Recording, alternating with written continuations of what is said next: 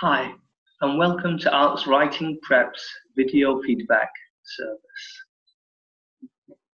Okay, now um, this is um, the question um, for the essay we're going to be analysing. Um, popular, popular events like the Football World Cup and other international sporting occasions are essential in easing international tensions and releasing patriotic emotions in a safe way. To what extent do you agree or disagree? So, um, the first thing I want everyone to notice is that we are given two points here. We're given sporting occasions are essential in easing international tensions and releasing patriotic emotions in a safe way. So, we're not given one point. We're actually given two points that we have to agree or disagree Now, normally, um, if someone's aiming for, you know, a band seven or above, um, the normal advice is to take a look at both sides of the argument, you know, to take a look at, you know, um, those who, you know, at both sides uh, agreeing and, and disagreeing. So even if you uh, agree, we're going to take a look at the other side. If we disagree, we're going to take a look at the side of those who agree. But with this question here, because we have two ideas that we have to agree or disagree with, um, it would be very difficult to take a look at both sides of, of both points. So it would be a very, very long essay if we tried to do that. It would at least be in the 500 word range. So I wouldn't really uh, recommend that anyone uh, took an approach where they took a look at both sides for both points. Now, uh, let's take a look at the introduction. Um, so we had the two points, uh, easing international tension and releasing patriotic emotions in a safe way. Right. So, um, what the candidates expected to do here is to rephrase this statement, okay, um, using different words and you know grammatical structures, and then in the introduction to state your position, you know whether you agree or disagree with with the statement. Now, one thing that is important to understand is that this statement here isn't given as a fact because they're giving us the statement and then they're asking us to what extent we agree or disagree with it. So automatically we should know that this isn't a fact given to us as a fact, okay? It's just an idea or an opinion. Now, if you notice that in the essay, the statement was given as a fact. So, for any country, international tournaments like football or cricket World Cups play a significant role by making ties stronger with other countries. These famous sporting events are guarded platforms for people to show their patriotism. Uh. I completely agree with the above context and will prove my stance in this essay. So, um, this uh, candidate actually wrote this statement, well, reworded it as a, as a fact. Okay, so um, firstly, when you're given a statement and you're asked if you agree with it or if you disagree with it, it's probably the best thing to do is to introduce it as, uh, you know, um, something that is believed. So you could start off with, it is believed by many or it is believed by some that for any country um, and, and so on and so on.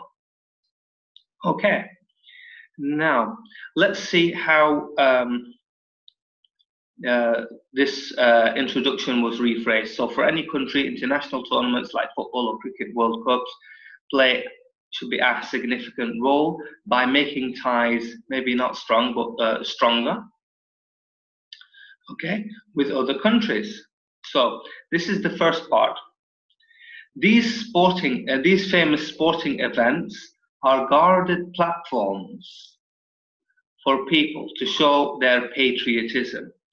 Okay. Um, so also we have that it is uh, a safe place. Uh, sorry, um, it's an essential uh, in easing international tensions and releasing patriotic emotions in a safe way. Now, the first thing I would warn all IELTS candidates of is to try and to keep the statements given this, you know, as similar as possible. We want to reword the statement, but we don't want to, you know, change the meaning in any way. So here it said it's a safe way to release patriotic emotions.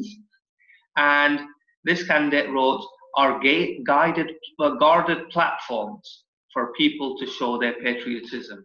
So I'll try and keep the statement, you know, as similar as possible, because when we play around with the words and we might change it a little bit, we could change the whole focus of the essay.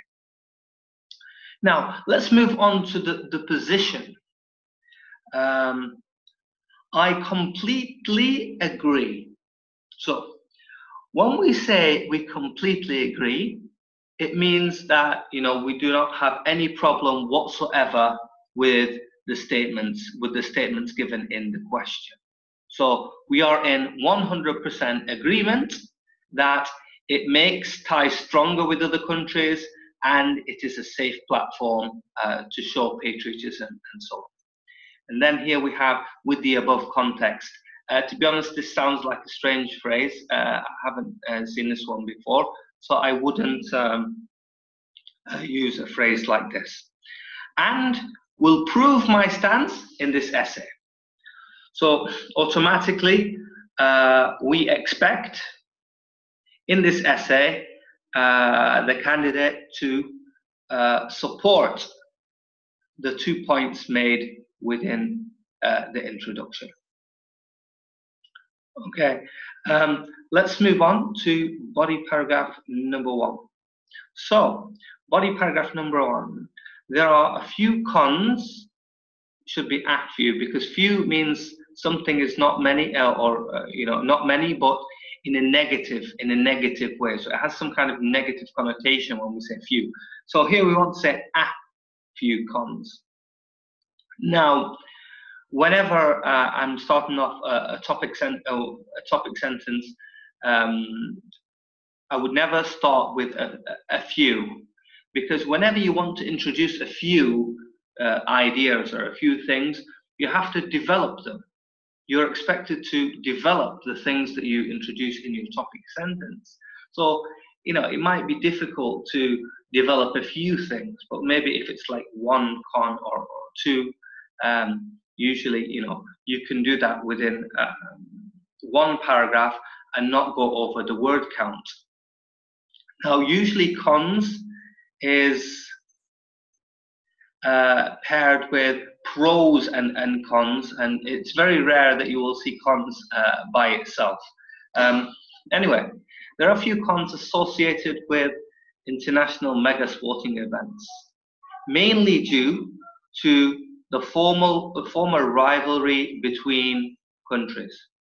So here, as you see, we have a problem because in the introduction, it says these famous sporting events are guarded platforms for people to show their patriotism. So here we want to say, here we're saying that it's a very safe, it's a safe place. And in body paragraph number one, we're saying that there are cons uh, because of you know disagreements between people. Um, however, these could be handled uh, properly with management and governmental uh, policies.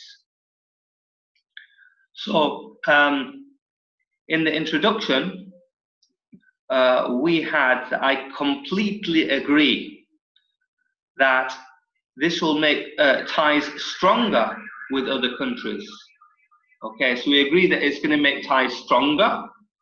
And also, we agree uh, that it's a safe place to uh, release these uh, patriotic uh, emotions and, and so on.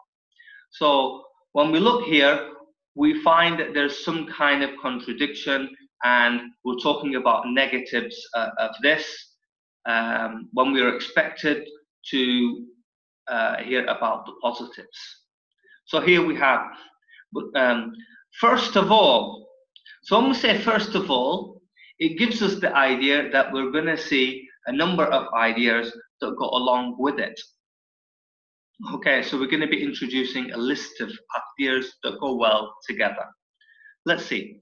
First of all, the host country do not welcome their competitors if they have prior conflicts. So I think what here what the candidate is trying to do is trying to explain how we could deal with these problems. Okay. This causes many problems. It should be four players, as well as their fans who want to visit the host country. So instead of talking about the positives of these international uh, games, we'll, we'll, start to talk about the problems and how we can fix, you know, the, these uh, these um, problems. Here I have, after this, I have moreover. Now, here we said first of all, first of all, so we're introducing a list.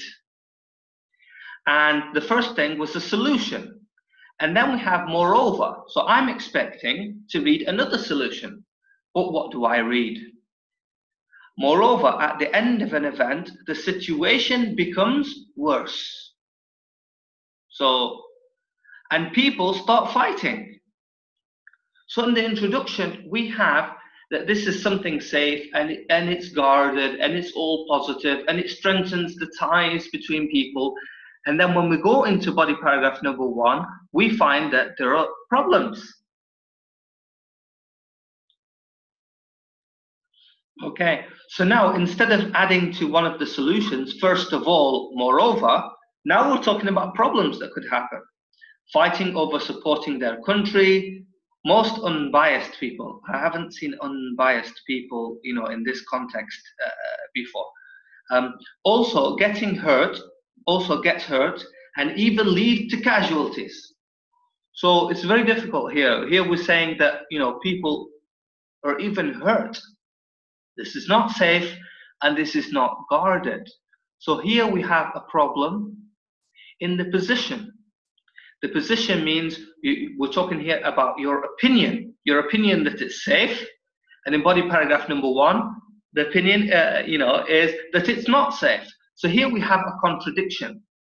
And we can't say that the position is clear throughout. Okay. Also in cohe uh, coherence and cohesion,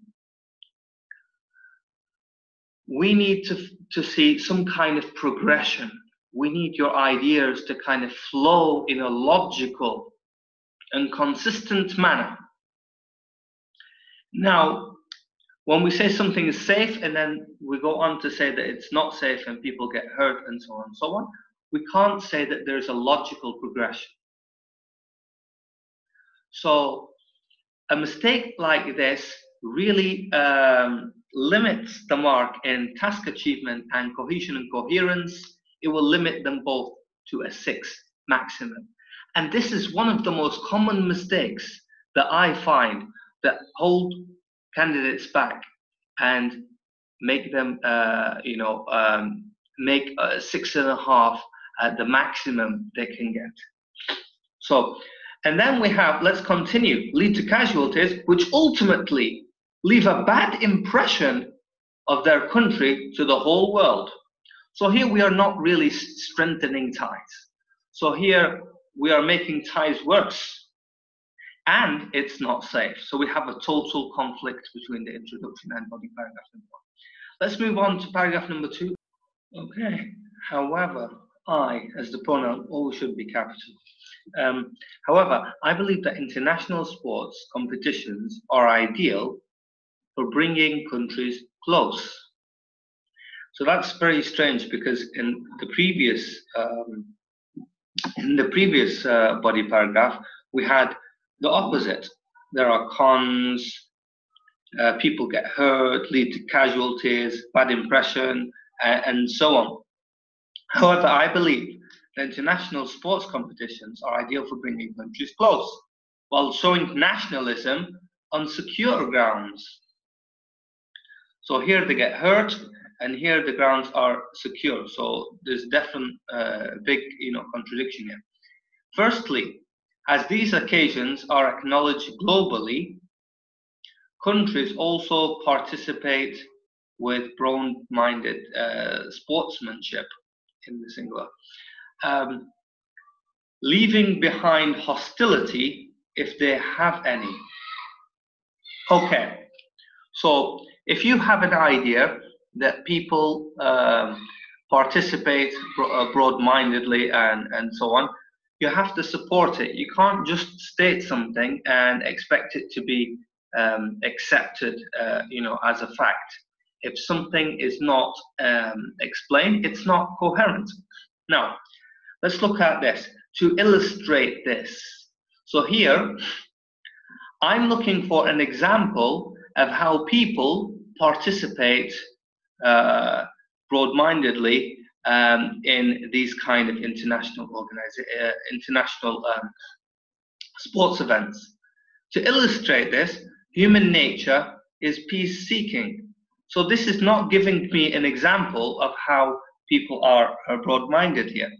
And these events help people to escape from stress between different societies. I think maybe escape from stress. I, have never heard this, but maybe um, to reduce tension between different societies. You know, fair enough. Um, and focus on mind relaxing activities. So I thought this example was going to clarify, you know, uh, the first idea, but it just introduced another idea. Now, a lot of candidates um, seem to have the idea if they write the word for example or to illustrate, it means whatever they're going to say is an example. And this is definitely uh, not true. And examples should clarify, you know, um, the ideas uh, that we have. Okay, let's uh, move on in this way, I haven't seen this expression before, international games set practical, maybe set a practical example of maintaining world peace. So the idea wasn't really clarified, so it's very difficult to come to this conclusion. Furthermore, international contests build enthusiasm and loyalty amongst countrymen. Now, if we go back to the question are essential in easing international tensions and releasing patriotic emotions in a safe way. And here we have international contests build enthusiasm and loyalty amongst countrymen. Here you'll notice that there's no relationship uh, with the question whatsoever. So the main idea is just totally, totally off topic. Let's continue. Everyone, everyone, everyone is singular, by the way. So this is like the wrong kind of uh, uh, subject verb agreement. Everyone unites to support their country. So, as I said, nothing to do with the question. Uh, fearlessly while realizing their duty as a moral supporter. For example, during cricket or football World Cups, citizens come forward and start supporting campaigns for their team. So totally off topic here. In conclusion, although global sporting sports events bring some manageable negatives with them, so some manageable negatives. Now, if I go back, we're talking about uh, negatives. We're talking about lead to casualties and, and people fighting and you know and so on, and people having a bad impression of, other countries and, and so on. So this is the manageable negatives. I agree that there are advantages, it should be um, advantages in overall aspect. I'm not sure what this statement is uh, supposed to mean, but I think it was advantages overall maybe uh, overall advantages I think of minimizing tensions between different countries. So this is totally contradicting. Here we have people hurting each other and you know getting a bad impression of each other. And here we have minimizing tensions between countries. So it's like there's a total clash here between ideas. It is undoubtedly a should be a safe and secure way of showing the national uh, should be national loyalty instead of the national loyalty. Okay so um, as for uh, band marks here we have um, addresses all parts of the task, although some parts may be more fully covered than others. Conclusions may become unclear or repetitive. Yeah, so the, the conclusion here is very unclear because we kind of have a clash of ideas. Now, whenever we have conclusions that are unclear, automatically we won't be able to get a 7 for cohesion and coherence because cohesion coherence says this for 7 logically organizes information and ideas. There's a clear progression throughout.